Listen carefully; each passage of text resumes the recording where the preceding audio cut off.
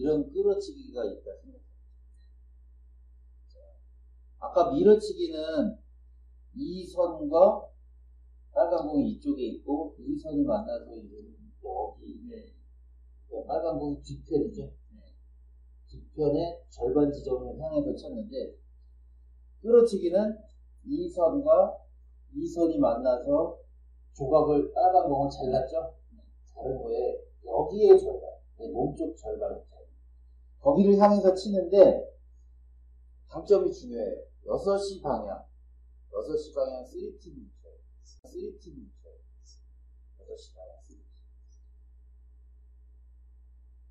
3TV면 상당히 낮은 거예요. 그러니까 이 그림에서 보면 이게 신공의 중심이고 이게 반 지점인데 이렇게 걸쳐 있어요. 이렇게 올라가 있으면 이거 투팁이거든요. 이렇게 아래로 걸쳐 있어요. 꽤 많이 상당히 아래를 쳐야 되거든요. 왜냐하면 Q는 일로 이 방향으로 치는데 내 공은 내 몸 쪽으로 가야 되잖아요. 이건 물리 현상에 힘을 준 방향에 역행하는 거기 때문에 하단 백스핀은 많이 먹여줘야 요대로 요 계산대로 공이 가거든요.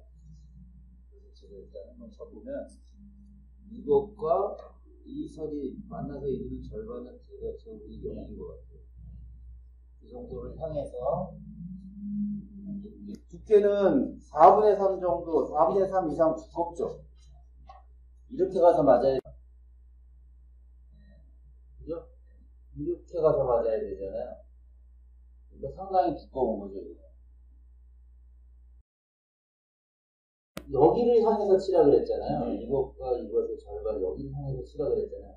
그럼 흰 공과 빨간 공이 닿는 부분은 여기일까요? 흰 공과 빨간 공이 여기에 닿을까요? 수선이 여기인데, 그죠? 흰 공과 빨간 공이 실제로 닿는, 만나서 닿는 부분은 여기일까요? 아니에요. 왜냐? 자, 보세요. 이 흰점을 향해서 흰공의 중심이 빨간 점인데 이 흰점을 향해서 갔어요. 여기에 닿지 않죠. 그 앞에 닿죠. 왜냐면 공은 둥글기 때문에 먼저 맞는, 맞는 거예요. 여기에 닿기 전에. 이 흰점과 빨간 점이 이렇게 닿기 전에 공은 둥글, 둥글기 때문에 튀어나와 있잖아요. 그래서 실제로는 여기에 맞는 게 아니라 여기 가서 먼저 맞아버려요. 그래서, 그래서 지금 이, 이 빨간 공의 흰 점을 향해서 치는데, 실제로 공이 맞는 부분은 신점에 부딪히는 게 아니라 신점의 오른쪽, 그러니까 더 두껍게 맞는 거예요. 그렇기 때문에 거기에는 얇, 여기를 겨냥해서 치는 게 얇은 게 아닌가 싶지만 사실은 이렇게 가서 접점은 여기인 거예요. 여기를 향해서 찔렀을 때 실제로 공이 만나는 곳은 여기서 만나는 거예요. 그래서 6시간은 3팁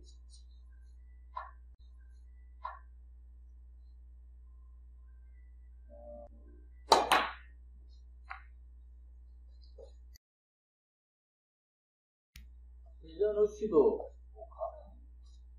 회전 없이 가야 정확하죠. 아까 밀어치기도 회전을 주는 순간 정확한 두께를 맞추기가 어려워진다고. 네. 그리고 쿠션을 이용할 게 아니고 지금 계산법을 알려드리는 네. 것이기 때문에 정확하게 치는 거를 알려드리는 건데 회전을 사용하게 되면 얘의 두께가 부정확해지죠? 네. 그러면 계산법대로 보내기가 어려워지는 거예요. 그런데 얘가 이렇게 있다. 그러면 회전이 있는 게 유리하겠죠? 네. 훨씬. 그러니까 회전을 사용하지만 이거는 회전의 의미가 별로 없어요. 쿠션을 이용해서 칠 게 아니라면. 네. 그리고 끌어치기 할 때 많은 게 답답하게 치는 게 회전을 주면서 치는 건데 어, 이걸 아셔야 돼요. 어, 이렇게 내공과 두 번째 목적구가 이렇게 90도 정도 벌어져 있어요. 이 방향으로 쳐서 이렇게 90도 정도 옆으로 보내는 끌어치기라면 회전이 있어도 나쁘지 않아요. 그러니까 회전을 많이 주고 두껍게 쳐서 끌어치면 되거든요. 끌리거든요. 그러니까 회전 없이 하단 당점을 많이 주고 얇게 끌어치는 방법도 있, 가능하고 역회전을 주고 당점은 많이 안 내리고 얘를 두껍게 쳐서 네. 끌어치는 방법 두 가지가 가능한데 이렇게 90도로 옆으로 끌어치는 방, 그 상황일 때는 회전을 많이 사용하는 게 나쁘지 않아요. 그런데 지금 뒤로 와야 되는 경우겠죠. 이렇게. 뒤로 와야 되는 경우에 회전을 사용 회전을 사용한다. 그러면 뭐예요? 당점이 올라가겠죠. 공은 둥글기 때문에 옆으로 옆으로 당점을 옮기는 순간 점점 점점 이렇게 올라갈 수밖에 없어요. 왜냐하면 이렇게 칠 수는 없잖아요. 그렇죠? 그러니까 공은 둥글기 때문에 내가 칠 수 있는 면적은 한정이 되어 있는데 회전을 많이 사용하면 사용할수록 당점은 올라가게 되어 있거든요. 그러면 뭐예요? 뒤로 끌리는 힘이 약해지는 거잖아요. 그렇기 때문에 이렇게 뒤로 많이 와야 할 경우에는 옆- 회전을 많이 사용해서 끌리는 게 아니고 당점을 내려주는 게 중요해요. 그래서 만약에 이게 아니고 회전을 많이 사용했다. 그러면 8시 방향이 돼버리거든요. 8시 방향이면 이렇게 말이에요. 회전만 많아지는 거예요. 직접 오지는 못하고 회전만 많아져요. 대신 이게 이렇게 쿠션에 바짝 붙어 있다. 그럼 회전이 이때는 회전을 사용하지만 이렇게 이 여기가 공간이 많이 있을 때는 회전이 중요한 게 아니라 정확하게 치는 게 중요한 거거든요. 그래서 그럴 때는 회전 없이 계산법에 의해서 정확한 방법으로 치는 게 중요해요.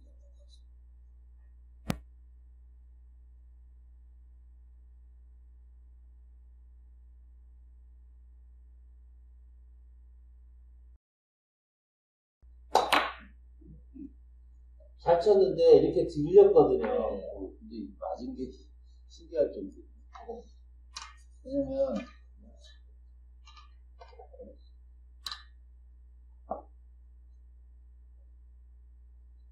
다행히도 이번에는 어떻게 쳤냐면 큐가 많이 위로 들렸잖아요. 이렇게 높게 들렸는데 와서 맞은 거는 다행스럽게도 아래를 치고 난 후에 들어줬기 때문에 맞았는데 보통은 보통 보통은 마무리된 큐의 모습이 이렇게 들려 있다 그러면 사실은 아래를 못 친 거예요.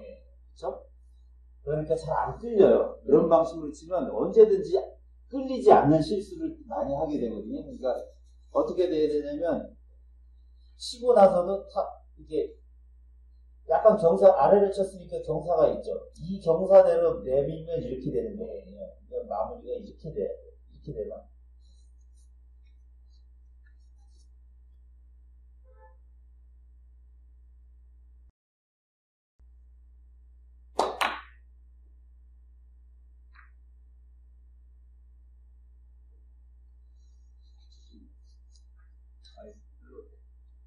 잘 처리가 안 돼요.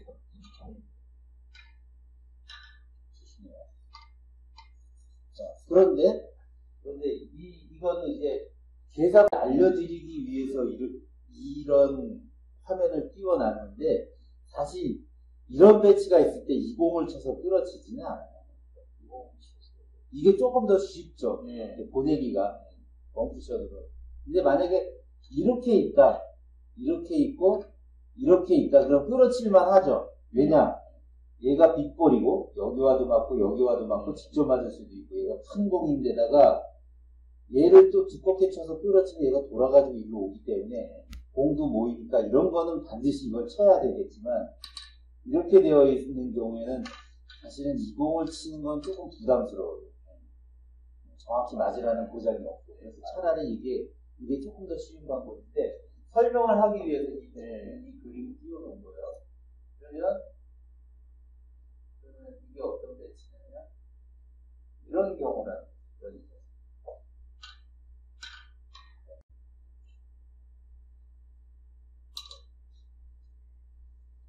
자, 이렇게 있을 때 계산법을 이용해서 한번 쳐보겠습니다.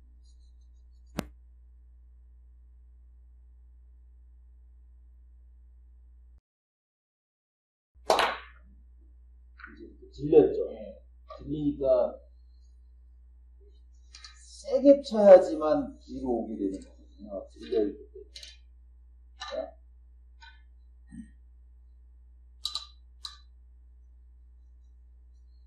여섯 시방의 스위tip을 정확하게 준다면 이렇게 살살 쳐도 얼마든지 보낼 수 있는데 치는 과정에서 당점이 올라가게 되면 세게 쳐야지만 일로 오게 됩니다.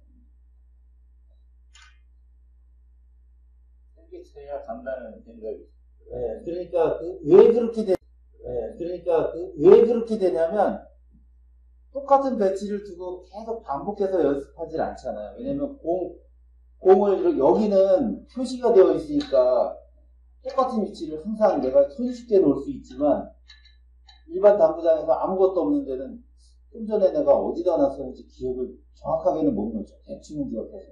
그러니까 반복 연습을 안 한다고요. 몇 번밖에. 그러니까 자꾸 세게 치게만 되는 거예요. 근데 똑같은 배치를 놓고 계속 연습하다 보면 아 이게 살살 쳐도 얼마나 들어가는 거구나. 그거를 알 때까지 연습할 수가 있거든요. 그러면 밀어치기를 배웠고 끌어치기를 배웠는데 사실은 밀어치기보다 끌어치기가 훨씬 어려워요. 왜 어렵냐? 이치적으로 얘기를 하면 밀어치기는 내가 어, 쳐도 공은 바닥에 의해서 이렇게 굴러가는 놈이기 때문에 단점을 굳이 많이 높이지 않아도 어차피 밀려갈 놈이에요. 밀릴 놈이에요. 어차피. 근데 끌어치기는 하단 단점을 반드시 쳐야 하고 그리고 흰 공이 빨간 공에 도착했을 때 백스핀이 남아 있어야지 끌리는 거예요. 그러니까 끌어치기는 한 가지, 두 가지가 더 요구 사항이 더 많은 거예요. 그래서 끌어치기가 어려워요. 그리고 끌어치기를 쳐서 딱 내가 원하는 곳으로 보내기 위해서는 뭐 속도와 백스핀의 양 이게 조합이 딱 맞아야지 되기 때문에 좀 득점 확률이 그렇게 많지 않아요. 그러니까 잘 맞는 게 아니거든요. 원래부터 좀 난이도가 거예요. 끌어치기는 밀어치기는 두께만 정확하게 치면 대체적으로 맞지만 끌어치기는 두께만 정확해서 되는 게 아니라 하단 당점을 치는 7 당점을 치는 7대의 당점의 높낮이 그리고 그때의 속도 이런 것까지도 맞춰줘야지 끌어치기가 잘 돼요. 자 그런데 지금 이 배치를 6시 방향 3팁으로 2분의 1보다 살짝 두꺼운 두께로 맞췄어요. 그랬을 때 6시 방향 3팁이란 하단 장점을 많이 두고 이렇게 쳐서 맞았어요. 맞았는데 공은 이 방향으로 예. 그러면 이 방향으로 오는 것보다는 이 방향으로 오는 게 훨씬 다음 공 치기가 좋겠죠? 네. 그러면 근데 얘를 그러면 지금과 같은 방법 말고 방점을 조금 올리면 얘를 조금 더 두껍게 쳐도 똑같은 방향으로 보낼 수가 있거든요. 그러니까 6시 방향 3팁으로 얇은 두께로 끌어치는 게 아니라 방점을 좀 올려서 6시 방향 2팁 정도로 올리고 대신 얘를 두께를 좀 더 두껍게 맞추는 그러면 이렇게 치니까 빨간 공이 이 방향으로 오죠? 네. 그러면 다음 공 치기가 훨씬 수월하겠죠. 4구는 연속 득점이 중요하니까. 네, 그래서 이렇게 계- 그런데 계산은 어디까지나 계산은 지금 끌어치기 계산법 제가 알려드린 그 계산법대로 이 선과 이 선이 만나서 이루는 절반 지점을 6시 방향 3팁으로 치면 득점이 되는데 공을 딱 봤더니 좀 두꺼운 두께로 치면 코너에다가 공을 모을 수 있겠구나. 그러면 각점을 좀 올려주는 대신 얘를 두께를 두껍게 치면 돼. 어차피 똑같은 코스로 보낼 수 있으니까 그 방법을 선택하는 게 연속 득점하는 데 유리하겠구나. 이렇게 판단할 때 유리하겠구나.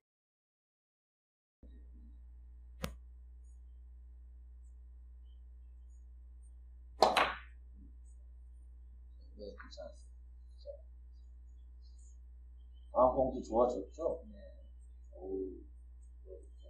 이 정도면 앞으로 몇 점을 더 치냐는 사람의 연습량에 따라서 이게 5점을, 5점을 더 칠 수도 있고, 10점을 더 칠 수도 있고, 그렇거든요. 자, 그런데, 어, 음, 6시 방향, 이게, 이 공이, 두 번째 목적구가 이렇게 있다면, 회전의 의미가 있어요, 없어요? 별로 없죠. 네. 빨간 공이 여기, 이쪽으로 빠질 공간도 있고 하기 때문에, 흰 공이 첫 번째 빨간 공 맞고, 두 번째 빨간 공으로 정확하게 가는 게 중요하지 뭐 회전을 가지고 있느냐가 의미가 없거든요. 네. 근데 지금 이 그림에서는 만약에 왼쪽 회전이 있다면 여기에 맞아도 득점이 되잖아요. 회전이 있는 게 훨씬 유리하거든요. 근데 여기서 대부분의 사람들이 회전이 있으면 유리하다고 생각하면 많이 줘요, 회전을. 회전을 많이 주고, 두껍게 빵 친단 말이에요. 이렇게 치는 거는, 어, 아까 말했듯이 항상 회전을 많이 주면 첫 번째 빨간 공의 두께를 실수할 확률이 높아져요. 그렇다고 회전을 안 줄 수는 없잖아요. 그러면 두께도 정확하게 맞추면서 내가 필요한 회전까지 얻을 수 있는 방법이 있는데 그건 뭐냐면 회전을 진행 방향적 회전 조금만 주는 거예요.